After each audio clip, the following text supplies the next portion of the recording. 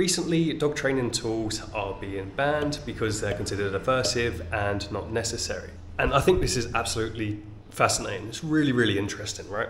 So now my question is, if you ban prong collars, ban electric collars, you ban slip leads, you eventually ban collars, ban all the tools that are aversive and possibly punishing. To be honest, that also should include leads and harnesses because they are aversive, whether you realize it or not.